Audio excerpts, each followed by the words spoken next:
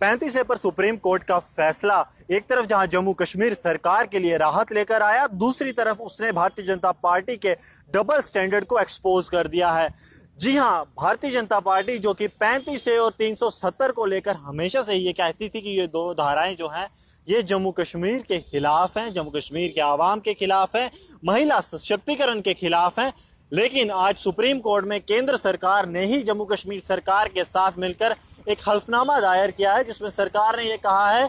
कि हम जम्मू कश्मीर में आठ चरणों में पंचायती और म्यूनसिपल चुनाव कराना चाहते हैं और अगर इस वक्त पैंतीस ए को लेकर कोई भी फैसला आता है तो उससे राज्य में जो हालात हैं लैंड ऑर्डर सिचुएशन है, वो खराब हो सकती है।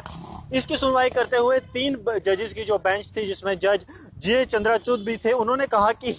जो हमारी सरकार है, वो अभी इस पर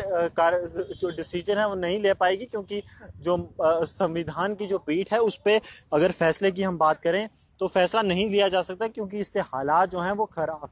खराब होंगे। इसके साथ साथ जो जज है, उन्होंने ये भी कहा है कि अगली जो सुनवाई है, उसमें इसके ऊपर फैसला ज़रूर लिया जा सकता है। अब जो बात जो सबसे बड़ी निकल कर आती है, क्योंकि भारतीय जनता पार्टी की जो स्टेट लीडरशिप है, वो शुरू से ही ये कहती आई है कि जम्मू कश्मीर में इन दो धाराओं से कहीं ना कहीं जम्मू कश्मीर के आम आवाम को नुकसान पहुँच रहा है। लेकिन केंद्र सरकार का जम्मू कश्मीर सरकार के साथ मिलकर हलफनामा दायर कर रहा है, क्योंकि जम्मू कश्मीर में आप सब जानते हैं कि गवर्नर रूल और कहीं ना कहीं जो है केंद्र का डायरेक्ट जो है इन्वॉल्वमेंट होता है। और रविंद्र रैना ने भी ये कहा था कि जो हमारे गवर्नर है, इसका मतलब साफ़ था कि कहीं ना कहीं भारतीय जनता पार्टी जो है दोनों जो हल्फनामे जो राज्य सरकार और केंद्र सरकार ने जो दायर किया है, उसमें जो भागीदारी थी, दोनों ही पार्टी दोनों ही जगह बीजेपी की थी। लेकिन अब जो है अब उन्होंने कहा है कि जो आने वाले इसमें